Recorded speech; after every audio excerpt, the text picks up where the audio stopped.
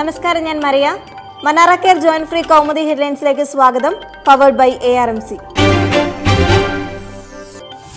കോഴിയിൽ മുങ്ങിയ മന്ത്രിമാർ. മന്ത്രിമാർക്ക് പണം നൽകാത്തതുകൊണ്ടാണ് ബാറുകൾ പൂട്ടിച്ചതെന്ന് വി എസ് രമേശ് ചെന്നിത്തലയും കെ ബാബുവും ബാറുടമകളിൽ നിന്ന് കോഴ വാങ്ങി. ഇരുവരും രാജിവെച്ച് അന്വേഷണം നേരിടണം. ബാർ കേസിൽ വിജിലൻസ് അന്വേഷണം പ്രഹസനമെന്നും പ്രതിപക്ഷ നേതാവ്. വി എസിന്റെ ആരോപണം അടിസ്ഥാനരഹിതമെന്ന് ചെന്നിത്തല. ആരോപണത്തിന് തെളിവ് നൽകാൻ ബാധ്യത വി എസിന്.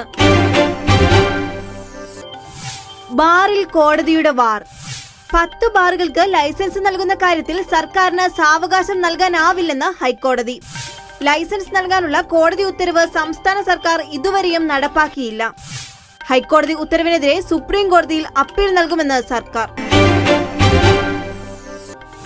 നാണക്കേടിനു ന്യായീകരണം. ദേശീയ ഗെയിംസ് വിവാദത്തിൽ ഉദ്യോഗസ്ഥരെ തുണച്ച് മുഖ്യമന്ത്രി. അനാവശ്യ വിവാദം സൃഷ്ടിച്ച് ഉദ്യോഗസ്ഥരുടെ മനോവീര്യം കെടുത്തരുത്. ആരോപണങ്ങളിൽ കഴമ്പുണ്ടോ എന്ന് അന്വേഷണം. കായിക ഉപകരണങ്ങൾ എത്താത്തത് സാങ്കേതിക തടസ്സം മൂലമെന്നും മുഖ്യമന്ത്രി. കായികമേളയ്ക്ക് ദിവസങ്ങൾ മാത്രം ശേഷിക്കെ സ്റ്റേഡിയങ്ങളുടെ പണി ഇനിയും പാതി വഴി. വിവാദങ്ങൾ മാത്രം സ്പീഡ് ട്രാക്കിൽ. കടൽ വഴി വന്നത് ഭീകരർ തന്നെ. ഗുജറാത്ത് ഉൾക്കടലിൽ പൊട്ടിത്തെറിച്ചത് പാക് തീവ്രവാദികളുടെ ബോട്ട് തന്നെ. സംഭവം സ്ഥിരീകരിച്ച് പ്രതിരോധ മന്ത്രി.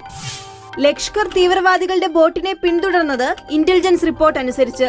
സാഹചര്യങ്ങൾ പാക് ബന്ധം വ്യക്തമാക്കുന്നുവെന്നും മനോഹർ പരീക്കർ.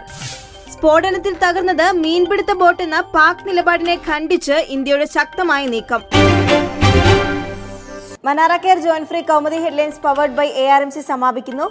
അടുത്ത ഹെഡ്ലൈൻസ് ഒരു മണിക്കൂറിന് ശേഷം ನಮಸ್ಕಾರ